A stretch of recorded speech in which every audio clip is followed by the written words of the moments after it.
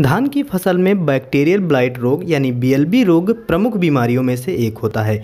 इसको हम नज़रअंदाज नहीं कर सकते हैं। अगर हम इसको समय रहते नियंत्रित नहीं करते हैं तो हमारी फ़सल में 20 से 25 परसेंट तक नुकसान हो सकता है। कभी कभी इससे हमारी पूरी की पूरी फ़सल भी ध्वस्त हो जाती है।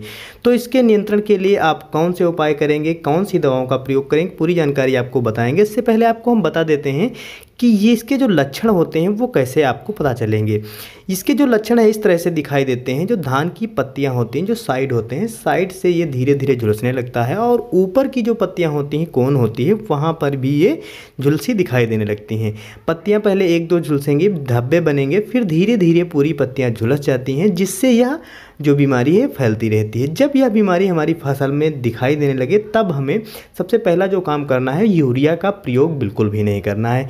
यानी कोई भी ऐसी उर्वरक का प्रयोग हम ना करें, जिसमें नत्रजन की मात्रा हो। अगर हम उसका प्रयोग करते हैं तो ये जो रोग है, ये मल्टीप्लाई हो जाता है, काफ़ी ज़्यादा विकसित हो जाता है, जिससे और अधिक हमारी समस्याएँ बढ़ सकती हैं। यह रोग अक्सर जल वाले खेतों में देखने को मिलता है, जो तराई इलाके के क्षेत्र होते हैं, उनमें और अधिक लंबे समय तक अगर बारिश का पानी भरा रहता है तो वहाँ पर ये रोग काफ़ी ज़्यादा विकसित हो जाता है। तो अगर आपकी फ़सल में बारिश का पानी भरा हुआ है, लंबे समय से है, ये रोग दिखाई दे रहा है तो आप जल निकास की व्यवस्था कर लें और यूरिया का आपको प्रयोग बिल्कुल भी नहीं करना है।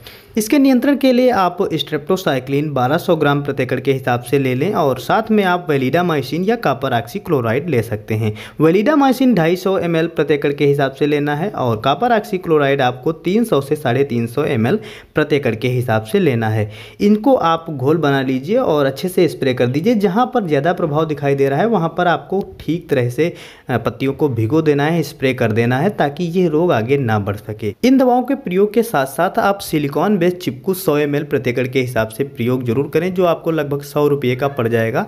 महँगा भी नहीं पड़ेगा, लेकिन जो रिज़ल्ट है काफ़ी अच्छा देगा, क्योंकि वो पत्तियों पर लंबे समय तक दवाओं को रोकता है और लंबे समय तक हमारी फ़सल में दवा का असर रहता है, जिससे इस रोग से हम बिल्कुल छुटकारा पा सकते हैं। दोस्तों, वीडियो पसंद आया हो तो लाइक कर दीजिए शेयर कर दीजिए चैनल पर नए हैं तो सब्सक्राइब कर लीजिए। कोई जानकारी या सुझाव है तो कमेंट भी आप हमें ज़रूर करें। धन्यवाद।